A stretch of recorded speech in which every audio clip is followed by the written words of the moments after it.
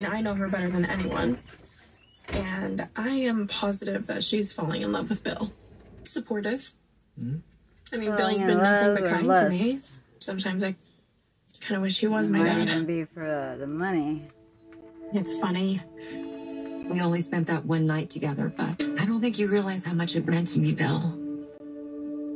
Even more than I realized at the time.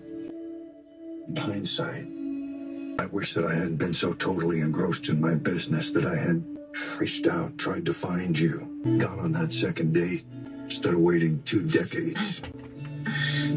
I wish you had too. It'll always be a big regret of mine. I was heartbroken. After only one night. Sorry for hurting you, Poppy. Forget that's fast. Man, it was crazy. Our lives went in such different directions. Now, if only we could go back and do it over again and not spend all those years apart. The difference it would have made.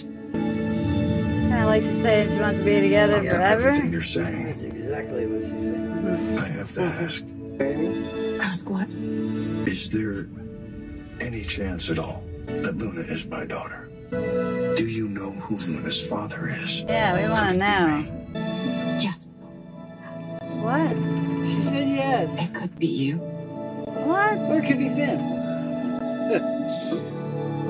You might be Luna's father. What? How is she gonna say that now? That's After why- she that's has repeatedly said no.